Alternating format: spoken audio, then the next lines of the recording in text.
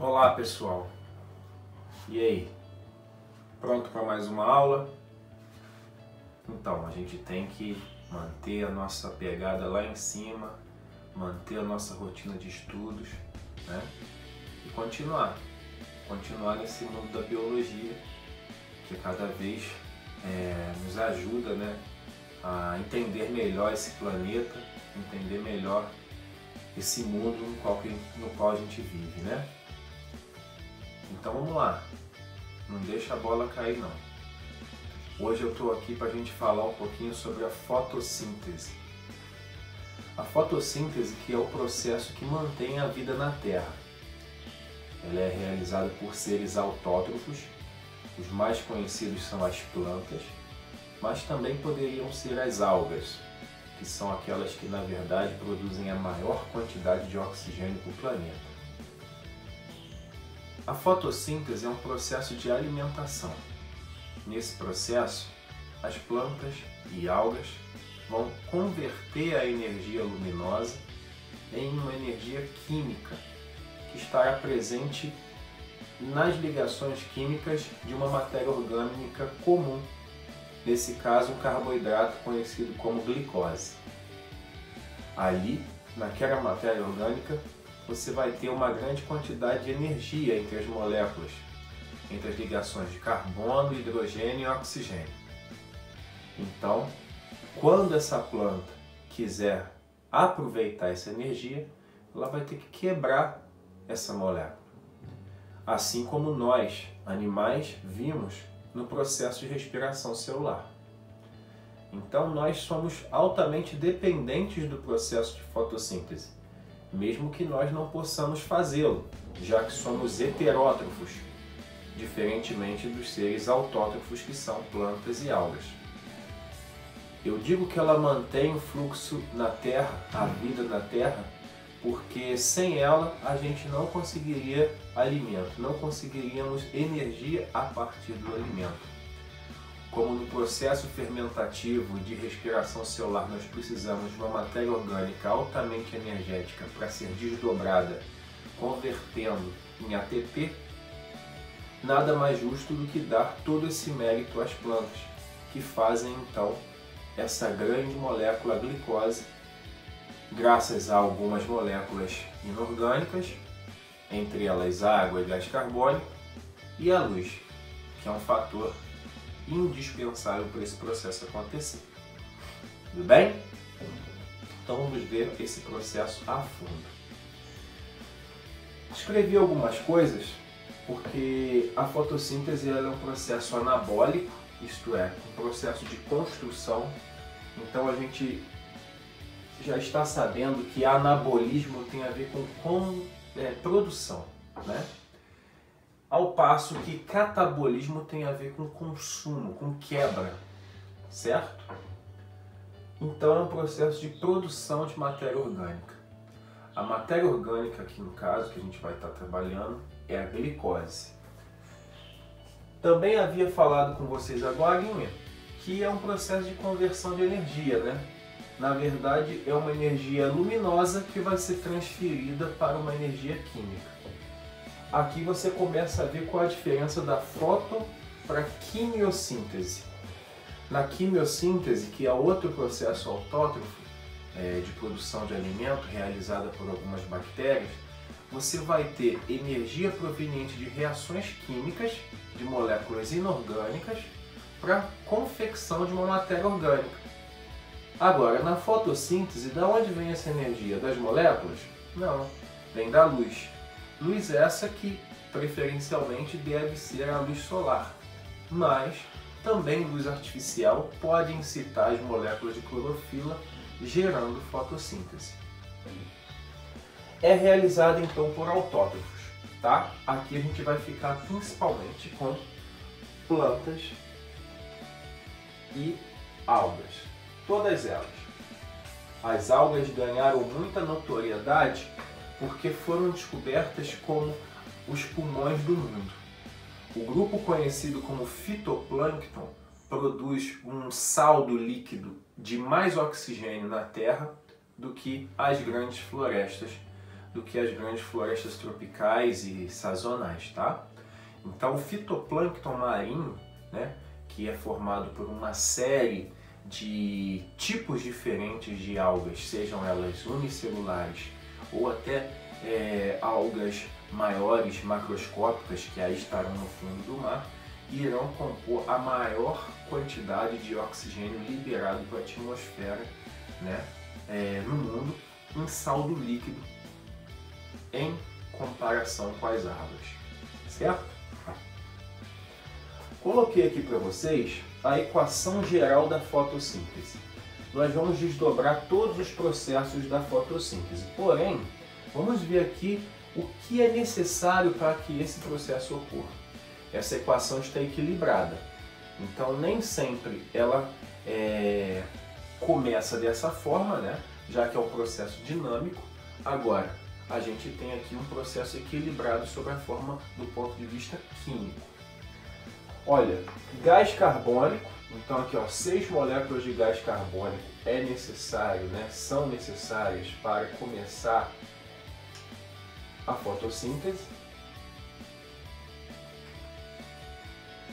Água, correto? Aqui pela equação são 12 moléculas de água. O gás carbônico ele vai ser absorvido através das folhas, numa região chamada estômato.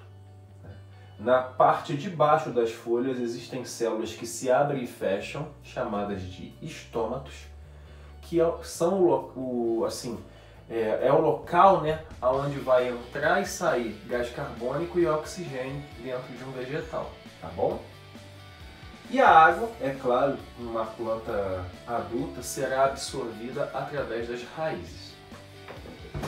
Esse fator, essa fotossíntese depende de luz e depende de clorofila. A luz ela estará presente durante o dia, num vegetal externo, um vegetal que está no seu ambiente natural.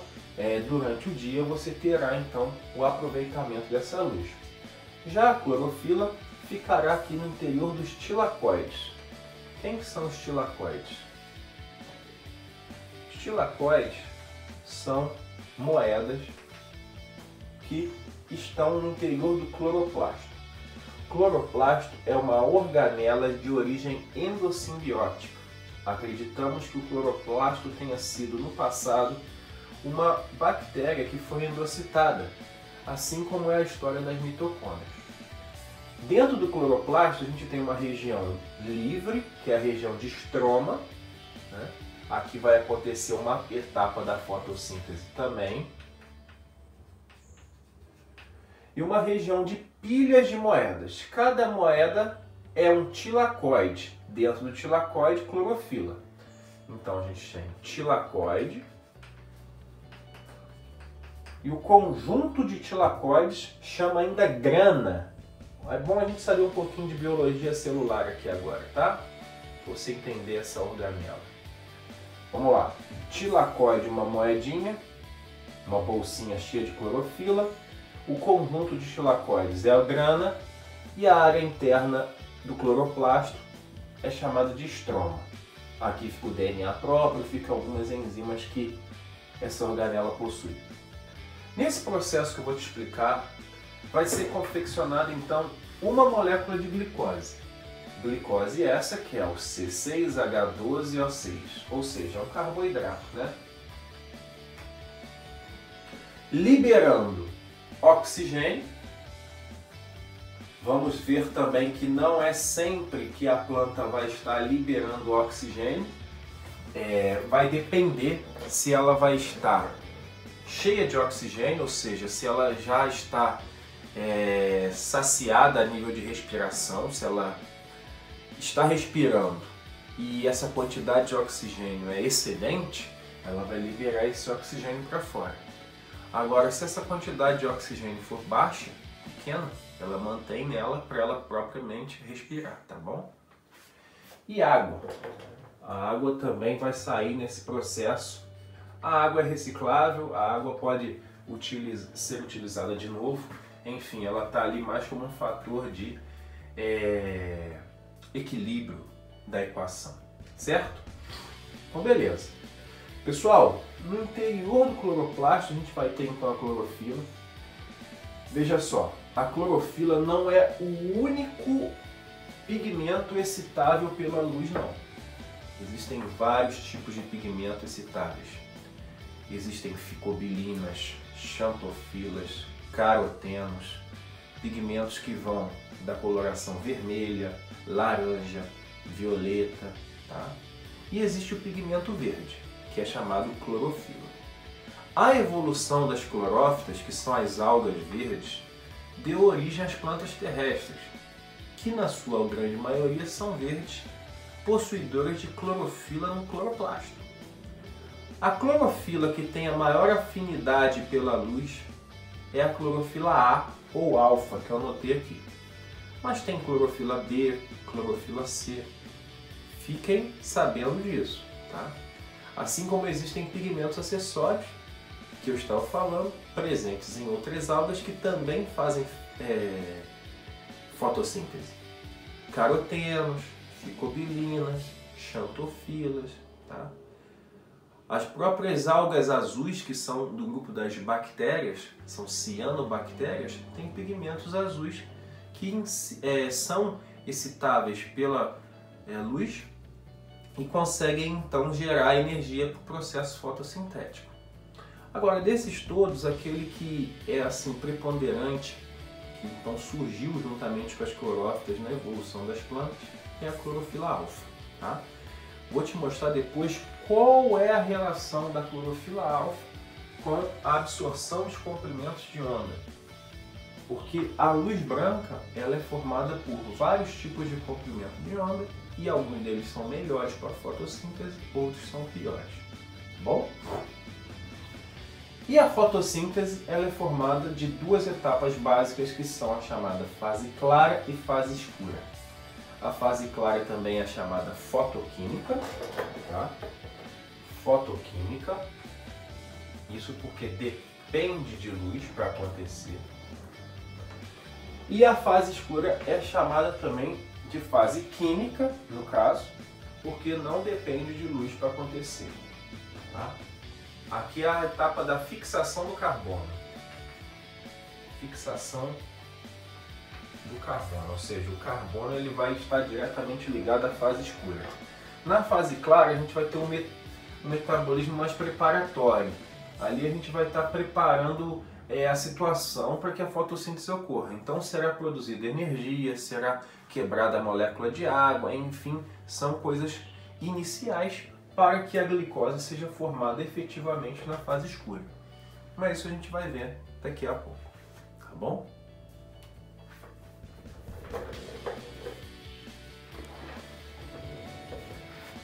Bom, pessoal, tá aqui o gráfico de aproveitamento dos comprimentos de onda em relação à clorofila A ou alfa. Esse gráfico ele é pré-estabelecido, isso já foi muito estudado, já foram feitos experimentos envolvendo bactérias aeróbias, algas, plantas aquáticas, enfim, para a gente postular e sempre a gente tem esse gráfico aqui. Esse gráfico ele mostra a clorofila alfa aqui, né? poderia ser outros dos, dos pigmentos de onda, mas a gente está trabalhando com o principal, que é a clorofila. E aqui embaixo a gente mostra o desdobramento dos comprimentos de onda da luz visível na escala nanométrica.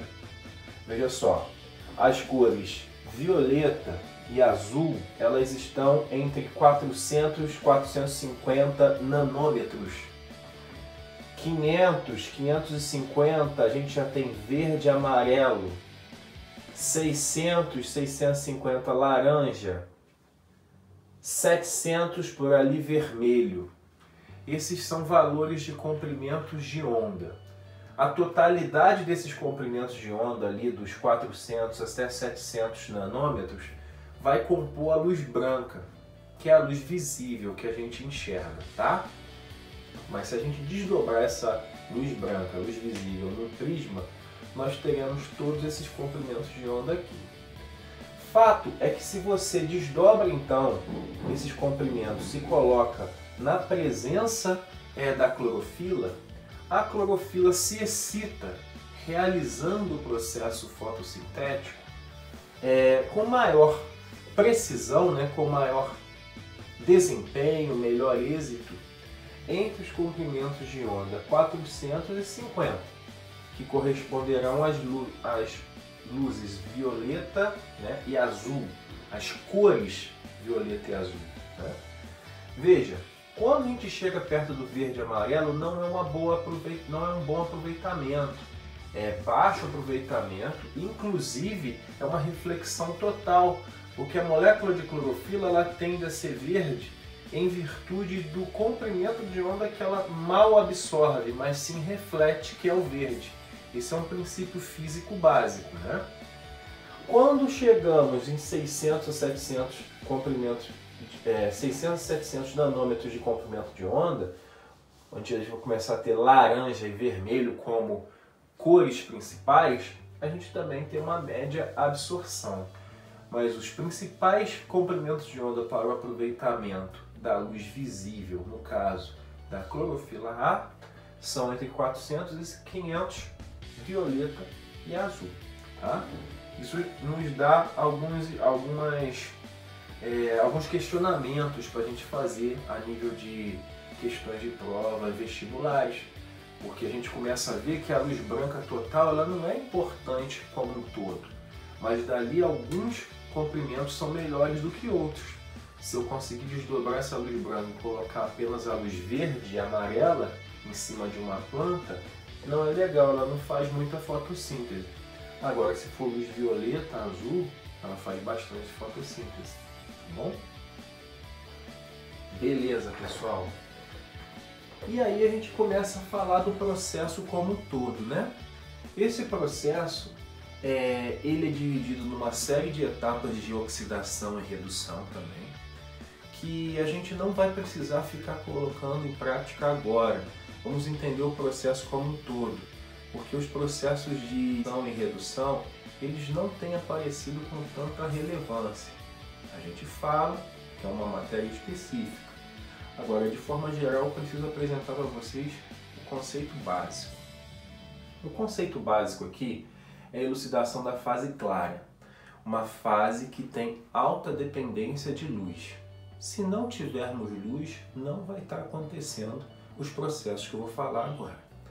Esses processos eles envolvem os tilacoides. Então a fase clara ocorre aqui, no interior dos tilacoides, como eu já disse, local onde estão as clorofilas. Veja, a fase clara é dependente de luz, porque ela é dependente da excitação das clorofilas. Sem a excitação das clorofilas, não teremos nem o ponto A, fotofosforilação, nem o ponto B, fotólise da água. Isso porque quando a luz incide sobre a molécula de clorofila, ela começa a, a reagir né, de maneira a liberar alguns elétrons. Esses elétrons que são excitáveis da molécula de clorofila, eles ficam dispostos no ambiente, né, ali dentro do tilacoide, e eles começam a é, sofrer ativação nesses processos ou doando energia para o processo de fotofosforilação, ou mesmo quebrando a molécula de água. Tá? No processo de fotofosforilação, o que, que vai acontecer? Uma produção básica de ATP, porque a energia que vai ser, é, que vai ser necessária para formar um processo de fotossíntese, ela é previamente produzida.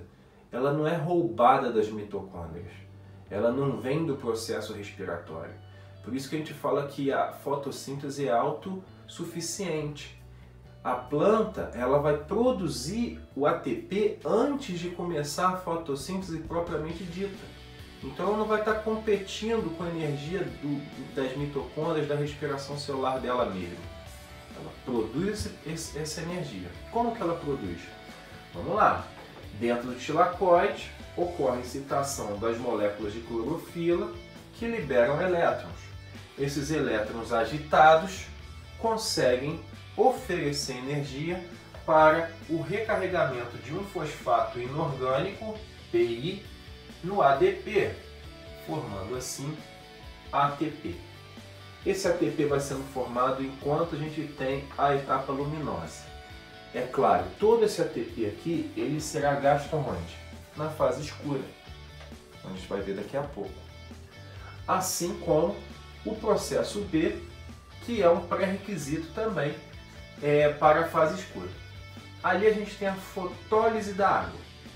Fotólise da água é a lise, a quebra da molécula de água.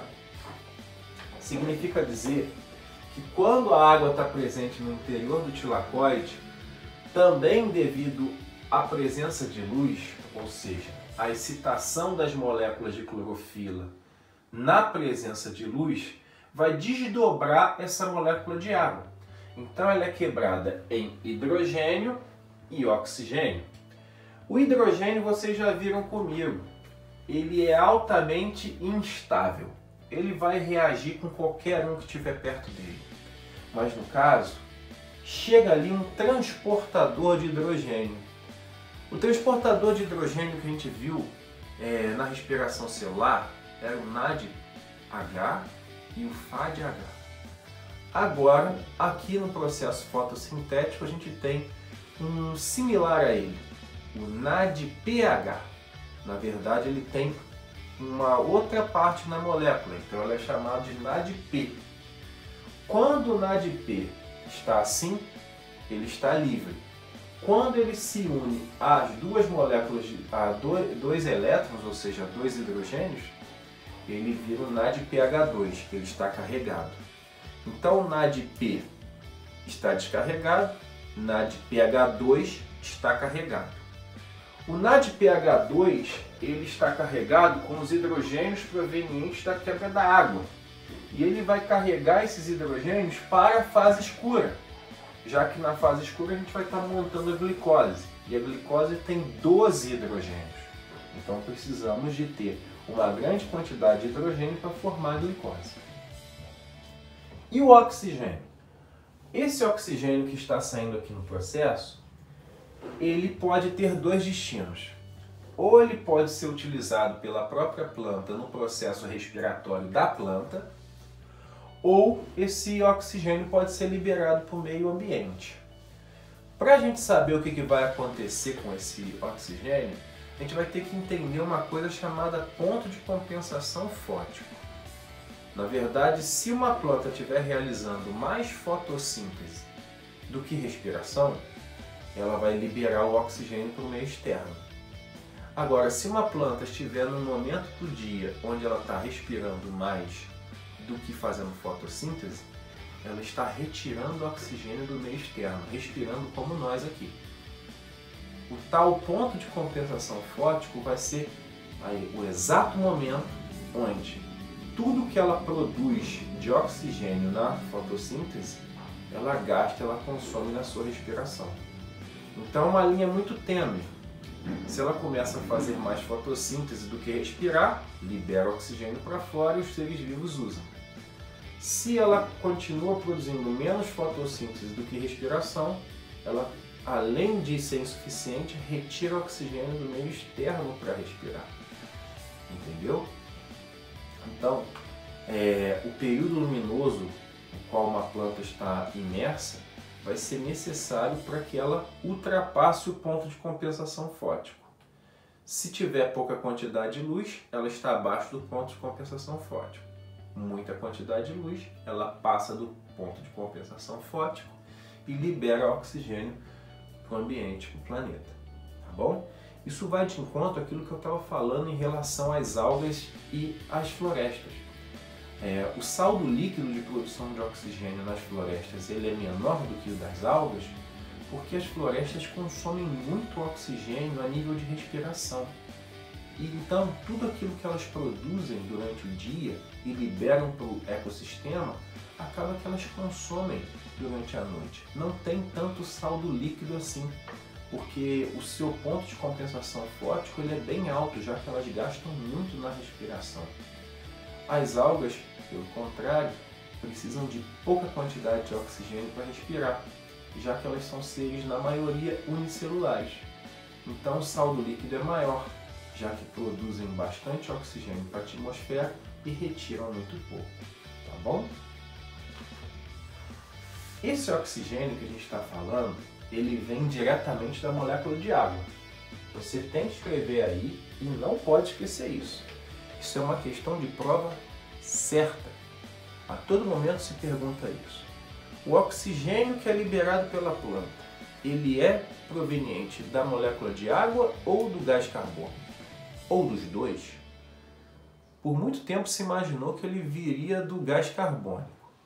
Até que é, experimentos radioativos começaram a oferecer água radioativa para uma determinada planta.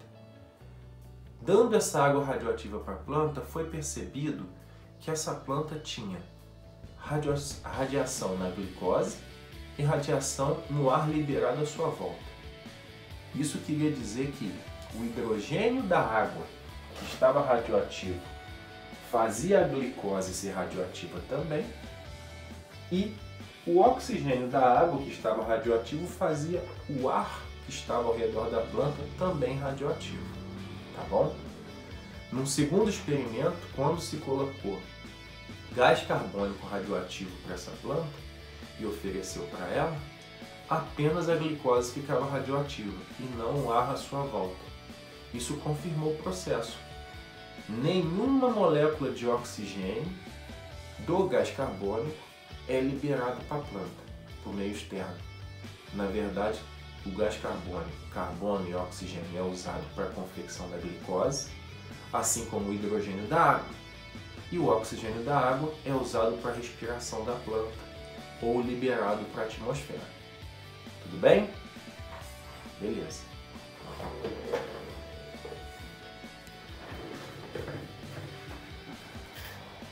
Bom, galera, então agora a gente vai voltar com a etapa química da fotossíntese. Que etapa é essa? É a etapa escura, a chamada fase escura da fotossíntese. A gente chama de fase química é, e escura. Vamos lá, vamos tomar um pouquinho de cuidado com essas palavras. Muitos alunos acabam achando que a fase clara acontece durante o dia, o que é verdade, e a fase escura durante a noite. Então, a fase escura pode acontecer à noite, mas ela também acontece durante o dia. Então toma cuidado, porque o termo escuro é para fazer um contraste com a fase clara. Não necessita ficar no escuro ou durante a noite para que essa fase ocorra. O que precisamos é que a gente é, tenha tido a fase clara. Porque tendo a fase clara, você já vai ter NADP carregados com hidrogênio e ATP para serem gastos no ciclo de Calvin. Tudo bem? Então não se assustem com isso que está aqui não. O ciclo de Calvin é a única fase mais complexa fase do ciclo do, da fase escura, que também é chamada fase química ou fase de Blackman. Né? Alguns livros trazem esse nome. E o ciclo de Calvin, pessoal, é o local da fixação do carbono, também chamado ciclo das pentoses. É o momento onde o carbono vai entrar na fotossíntese de cara, entendeu? Então, esse ciclo ele não acontece mais nos xilacóides, ele acontece no estroma. O estroma é aquela área aberta dentro do cloroplasto. Lá a gente vai ter a fixação do carbono. Veja só aqui para vocês entenderem. Eu coloquei esse ciclo equilibrado da maneira que vocês viram na equação. Então está em equilíbrio com os valores aqui do lado de quantas moléculas nós precisamos para rodar o ciclo, da maneira que eu pus na equação química geral da fotossíntese. Não se preocupem tanto com esses números em laranja, mas sim com o, tipo de molécula. Aqui a gente tem o gás carbônico, eu não preciso traduzir isso para vocês, mas tem algumas com nomes bem complexos que são chamados por abreviações. PGA, que é o ácido fosfoglicérico, tá? Tá vendo aqui? Ácido fosfoglicérico é o PGA. O PGAL, que é o aldeído fosfoglicérico, o RDP, que é a ribulose de fosfato, ela está aqui, ó. E o R eu coloquei mais por desencargo de consciência, que é a enzima rubisco. A enzima rubisco ela vai fazer a fixação aqui. Vamos começar com ela. Então vamos lá. Vamos começar a ver como é que o carbono ganha hidrogênio e ganha energia para virar uma glicose. Olha só como que ocorre esse ciclo de Calvin das coisas mais interessantes que a gente tem dentro da biologia. Uma molécula de gás carbônico, lembrando aqui, ó, uma bolinha significando um carbono. Veja só, é claro que para você fazer totalmente o processo seriam seis moléculas de gás carbônico, mas calma, isso está em equilíbrio. Vamos trabalhar com calma, vamos trabalhar com ele, é, com os elementos como tal. O gás carbônico, quando ele entra no estroma do cloroplasto, ele é conectado pela enzima rubisco. A rubisco é uma enzima que vai ligar a ribulose de fosfato, que tem cinco carbonos, com um gás carbônico. Então, ligando ribulose de fosfato com gás carbônico, você vai ter um elemento que na verdade tem seis carbonos. Um, dois, três, quatro, cinco. Seis. Por quê? Ribulose tinha cinco, gás carbônico tem um. Um, dois, três, quatro, cinco, seis. Beleza. Então veja só.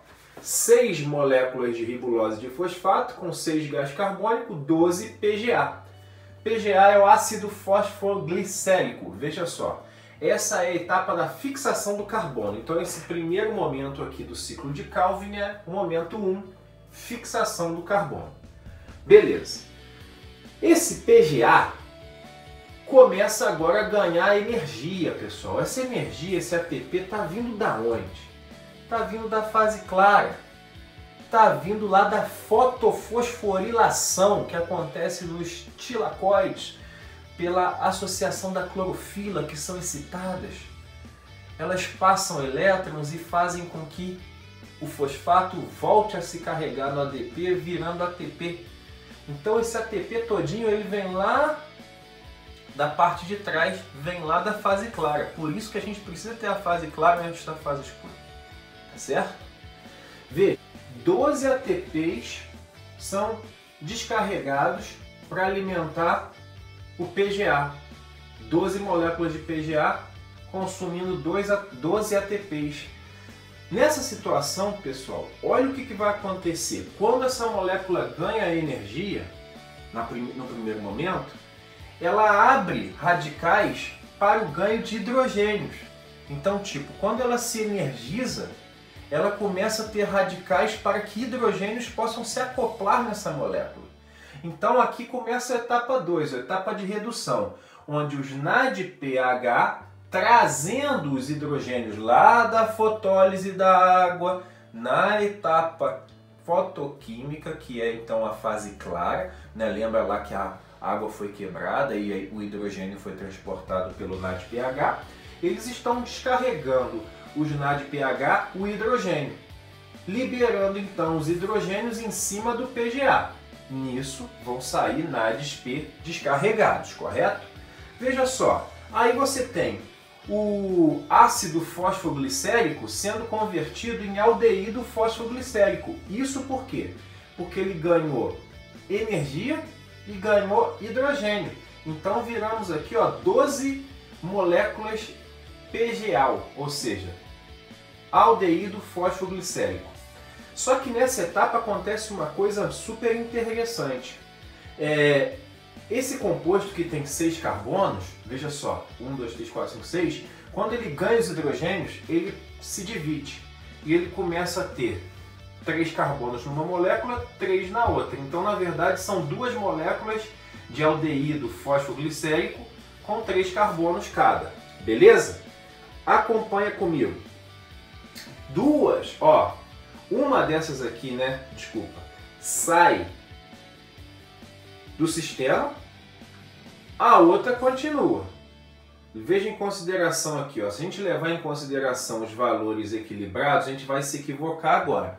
Segura a onda. PGAL, duas moléculas lá de três carbonos cada. Uma sai do ciclo de Calvin, a outra vai continuar, beleza?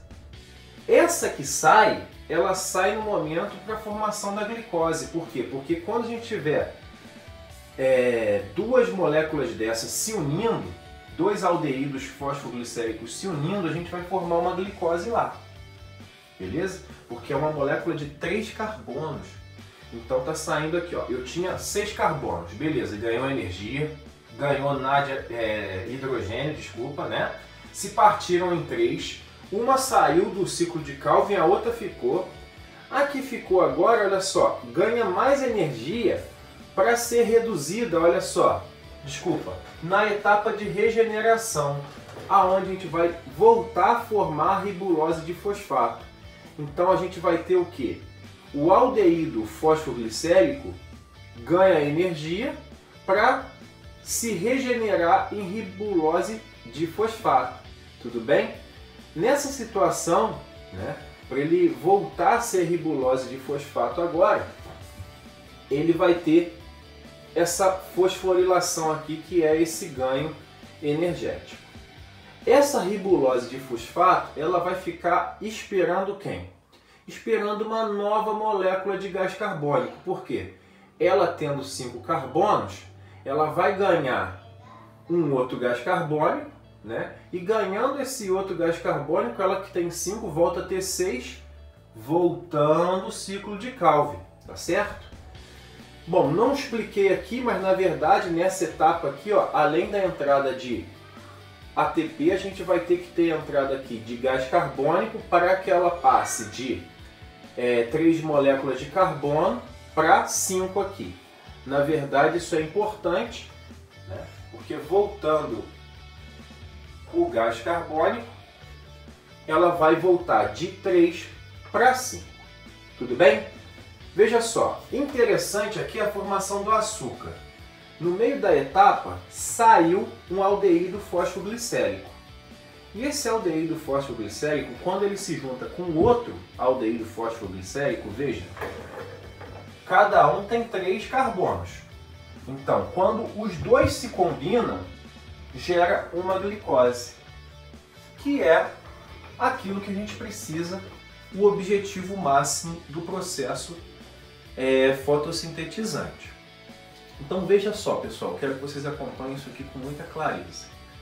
São necessários dois ciclos de Calvin para que você forme uma glicose.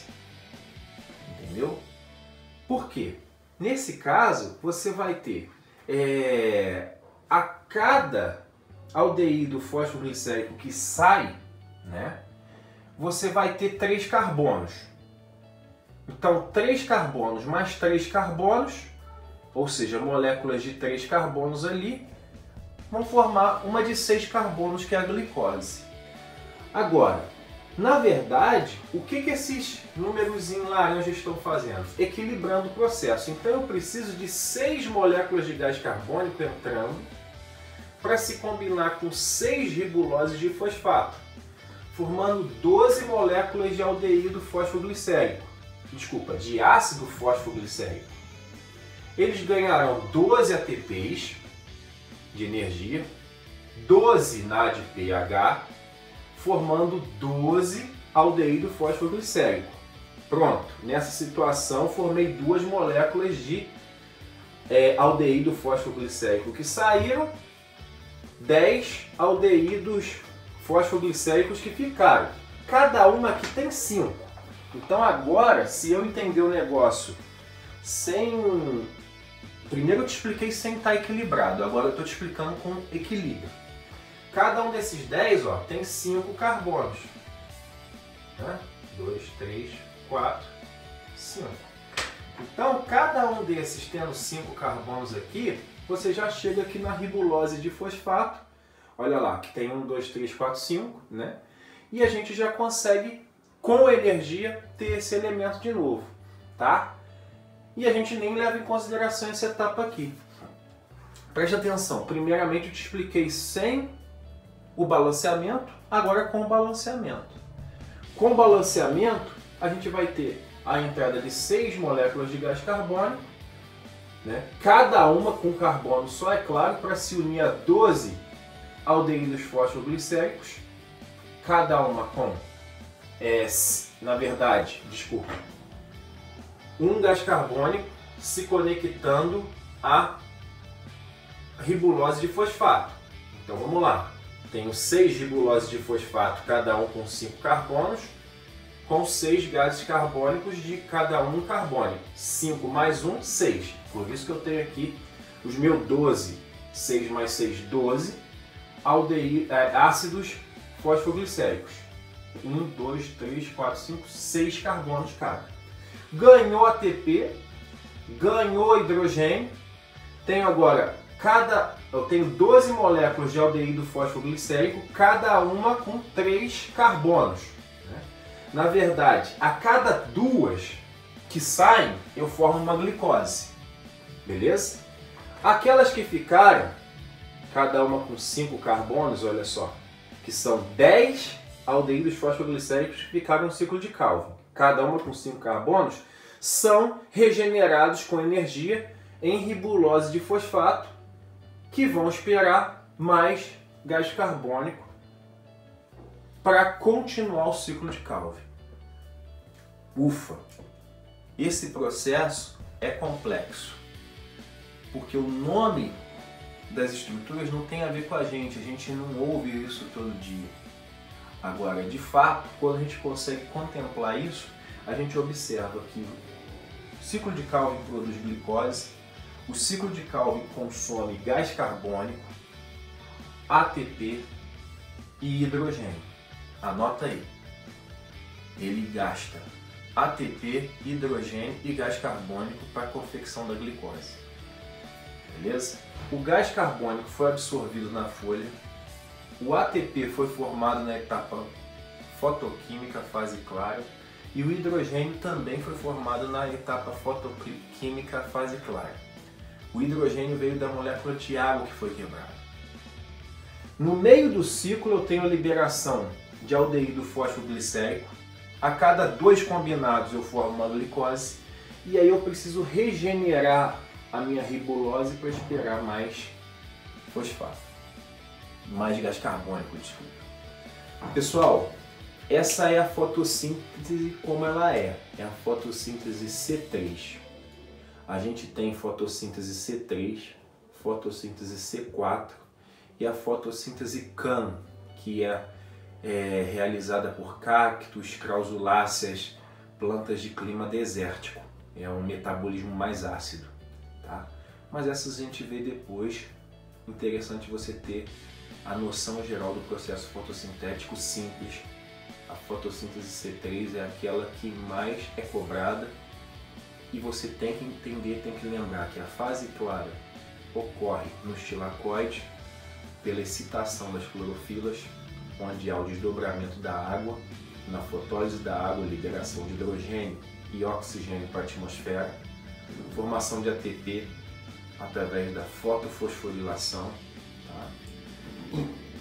Tanto ATP quanto hidrogênio vão ser incorporados na molécula de gás carbônico na fase escura, que não precisa acontecer à noite. Nessa fase escura a gente tem o ciclo de Calvin e através desse processo, onde ocorre fixação do carbono, redução, pois foi retirada a molécula de glicose, e regeneração, a gente vai ter a formação da glicose, o alimento das plantas e o alimento da maior parte dos animais.